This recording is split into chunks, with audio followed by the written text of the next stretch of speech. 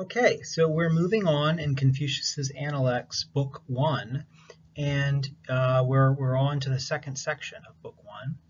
And here we have a description of something that was said by one of Confucius's disciples, Master Yu. And this is a common feature in the Analects. It's not just Confucius's own sayings, but also his conversations with disciples and some of the things that his, his, students, that is, and some of the things that his students themselves said. And part of why that's interesting, we won't go into the details of this, but uh, it's thought that when some idea is put into the words, into the mouths of um, Confucius's students in the Analects. That is, when the Analect says that a student of Confucius said some particular thing, then the suggestion is that this is one way that the master's teaching can be taken, but it's not the only way. So part of why these ideas are expressed by the students rather than Confucius himself in the Analects is because it's unclear whether or not Confucius himself would agree with these ideas. So that's something to bear in mind. But for the most part, the students' ideas are supposed to be interpretations of what Confucius says. Now, there are cases where a student will say something and then Confucius will correct them, so to speak, or will disagree with them. And what, what that tells us is, uh, again, it gives us more clarity about what Confucius did and did not believe, and also tells us about something about how Confucius reacted in his thinking to certain ways um, of thinking that other people could have. Um, so it tells us something about the kind of um, his kind of response to certain ideas. So the passage reads, Master Yu said, it is rare to find a person who is filial to his parents and respectful of his elders, yet who likes to oppose his ruling superior. And never has there been one who does not like opposing his ruler, who has raised a rebellion. So there he's saying no one who's ever raised a rebellion, uh, person who's you know actually rebelled against their government, um, has uh, been a person who doesn't like opposing his ruler. So everyone who raises a rebellion is someone who likes opposing the ruler, is the claim here. And we might wonder whether that's true. Have all rebellions been led by people who like opposing rulers? Maybe some revolutionaries were reluctant revolutionaries. They felt like they had to do it, even though they didn't really like doing it. That's possible, right?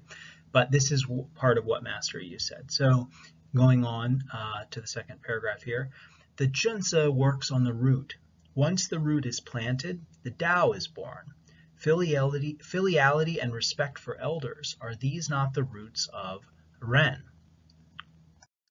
Okay, there's a lot going on in this passage, uh, but two themes that I would like to start out by emphasizing are filial piety and guidance for rulers. So one the, the first um, point is that uh, Confucius is referring to filial piety as a good thing here, um, and he does that repeatedly.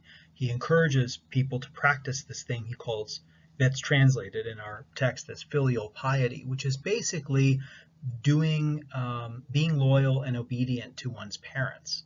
So showing proper respect to one's parents, um, taking care of one's parents. So these things, and, and, and the notion of filial piety has been expanded in subsequent Confucian thought to include other kinds of family relations. Okay, so what what's the right kind of um, the right kind of um, relation to have with one's elders, with one's superiors within a family, like older brothers, older sisters, and so on. And there's also some guidance about how older brothers should treat younger uh, brothers and sisters. Okay, so uh, that I won't go into all the details of that, but I'll just say it's an interesting thing that that comes back again and again. The importance of um, people being then the goodness of people um, being such that they respect their elders and they respect their parents in particular and take care of them.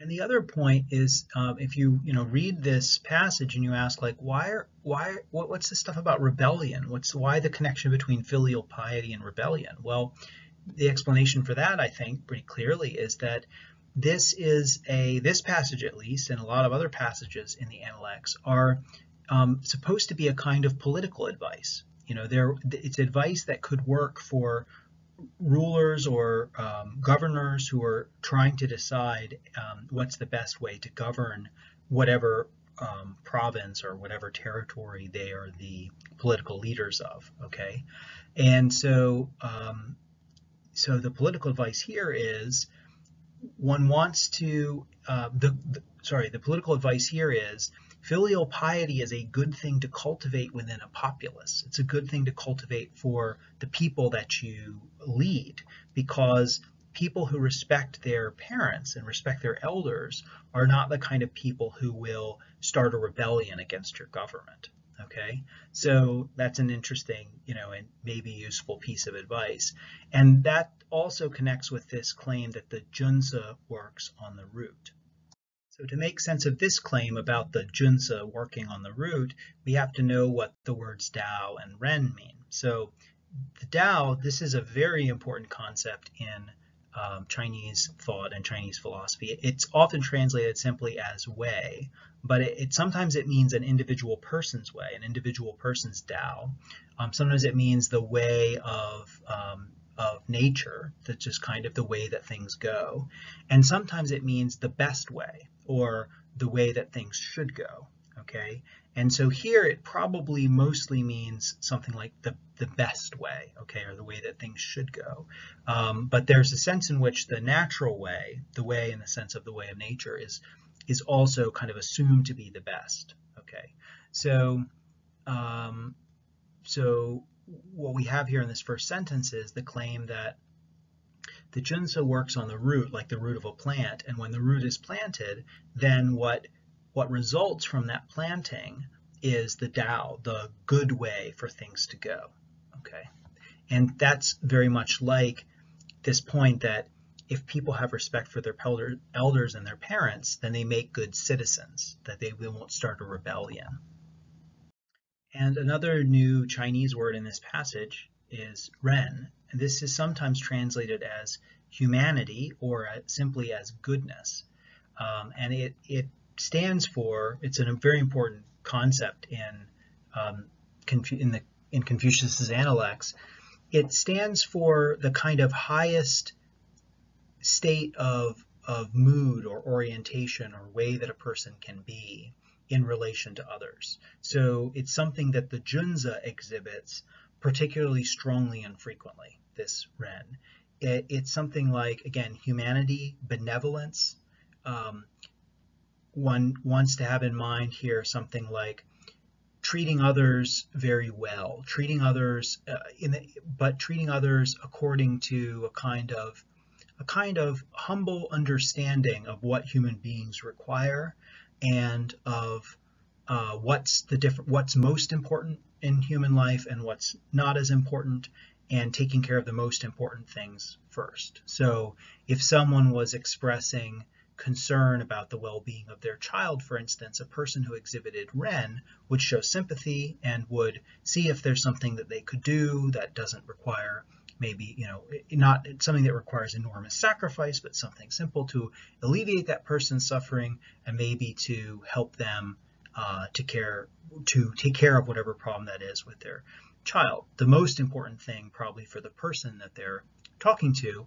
is that their child is safe and, and well. So showing Ren towards that person in that situation um, means um, kind of entering into sympathy with their concerns because those concerns really are ones that call for attention, you know, uh, from this perspective of humanity, benevolence, and goodness. So the basic claim here at the end of the passage is that the junzi works on the root, which is something like filial piety. And from that root, both the Tao, the, the good way for things to go, and the good way for a person to behave, and also humanity, this high Confucian virtue of Ren, um, will result from that root of filial piety. And in just the next passage, um, Book 1, Section 3, uh, the master says, those of crafty words and ingratiating expression are rarely Ren. Here we have an example of a kind of humor and paradox that shows up frequently in the Analects and is part of what makes them actually fun to read. Um, it seem it might seem like someone who was good with words, you know, had crafty words, and who seemed to want to please you, that is, had an ingratiating expression, trying to make you like them. You might think that such a person um, was probably being sympathetic and had your best interests at heart. But here the master is correcting you from thinking that. He's saying Ren, humanity, benevolence, goodness, is not just a matter of telling somebody what they want to hear because usually when people just tell somebody what they want to hear um, or uh, are uh, are very clever in the way that they speak, um, this is uh, part of some more nefarious motive. It's or it's just a matter of self-interest that they want the other person to like them, to give them a promotion, or to give them a big tip, or who knows what. Okay, so true humanity, true Ren, is not just a matter of getting people to like you by the way that you talk to them. It's a matter of actually being generous and actually caring for what is most important, what's most humanly important in a given situation. Here we have another expression from Master Zeng, another uh, student of Confucius. He says, Each day I examine myself on three points. In planning for others, have I been loyal? In company with friends, have I been trustworthy? And have I practiced what has been passed on to me? So here we have an indication of the high valuation that is placed on loyalty, on trustworthiness, and on studying and self-cultivation in the Confucian tradition. And likewise, in section 1.5, we have some more advice for rulers uh, that emphasizes, again, the value of trustworthiness and also um, attentiveness to affairs, or something that we might today call diligence in taking care of one's tasks. And here we have an interesting passage that shows the high valuation that Confucius placed on culture, including things like poetry and history, and music. So he there are repeated references to poetry and music in the Analects, and these are the kinds of refinements of culture that he has in mind. Maybe also something that he calls Li, which is the rituals. So uh, the point here is that people should cultivate basic kinds of moral a basic kind of moral orientation and practice and good habits first. And then to whatever extent they have extra energy, um, they should devote themselves to the arts is basically the, the idea. And there are a number of passages in the Analects that make roughly the same kind of claim. Part of why this is interesting is just that Confucius has a place for appreciating the arts like poetry and music, in his um, overall view of what a good human life is like. And the word for culture in this sense is wen. The word has a number of other meanings, but um, that's the one that's important in this context. All right, this lecture is getting a bit long, so I'm going to pause here and finish up with Confucius in the next video lecture.